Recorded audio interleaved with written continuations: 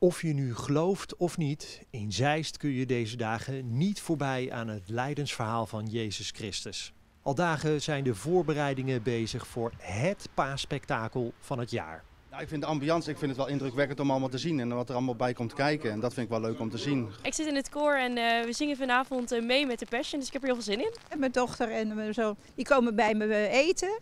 Om vijf uur en dan zorgen ze dat ze hier op tijd staan. Ik heb er heel veel zin in. Het gaat echt heel leuk worden, denk ik. Wie er ook zeker naar uitkijken zijn wethouders Laura Hoogstraten en Walter van Dijk. Het wordt echt een, een leuke avond met uh, veel publiek en uh, een prachtige show. Zij haalden het evenement binnen, zodat hun gemeente volop in de schijnwerper staat. Met miljoenen kijkers voor de buis vanavond. Ja, en die zien dan ook wat voor mooi dorp Zeist is. En wij hopen, dat is ook een van de doelen, ja, dat ze de komende jaren dan denken van... we gaan eens een keer een weekendje of een weekje in Zeist op bezoek.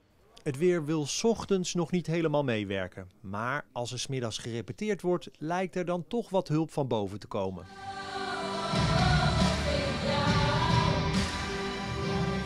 Het weer ziet er goed uit dus. Hoe zit het met de acteurs? Zenuwachtig dan niet? Nee, nog niet. Maar ik denk vanavond, als we heel erg aan het wachten zijn op de uitzending, dan, dan zal het wel even spannend zijn. Maar uh, ik heb er vooral heel veel zin in. Hier bij het gemeentehuis zal de climax van The Passion vanavond plaatsvinden. Voor de wethouders is er al een plekje gereserveerd. Zo dicht mogelijk bij het grote podium om te kijken, om het echt helemaal mee te genieten. U zit de eerste rang. Ja, dat uh, zou zomaar kunnen. Ja.